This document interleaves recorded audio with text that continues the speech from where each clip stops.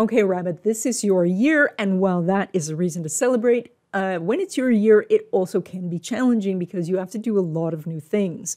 And so, this is uh, a year where you're in harmony with the energy. You understand this energy, and that's what makes you feel comfortable. But you may look back at the things you've been doing and say you don't want to do those anymore. And that is the the reason that you start doing a lot of new things. And a lot of new things could be moving, changing jobs, changing relationships. And some of these things will unfold over a three year period, not just one year, but you will get many new opportunities this year.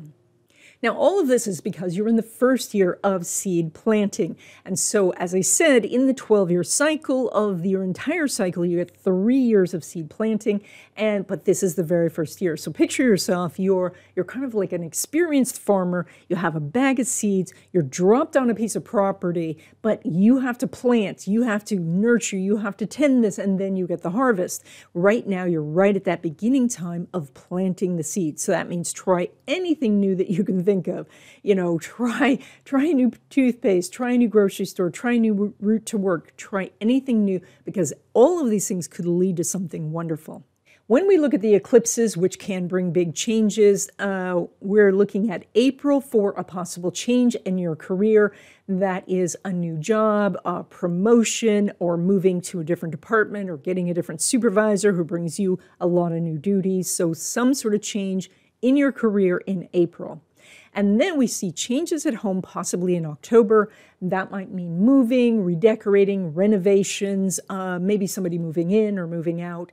That is going to be October for you. Now, if you really want success, the thing to do this year is to cultivate your knowledge of investing, your knowledge of handling money, and also resources in general to look beyond where you have gotten maybe information or help in the past and see if you can't expand that to other you know people institutions etc so by putting some effort into learning how to handle your money especially in the way of creating passive income sources or a side business that's going to help you the most and where we see your most luck is when you put yourself out there to be seen. That means not hiding at home, but actually, you know, posting or creating your brand or maximizing your profile on LinkedIn or some professional website.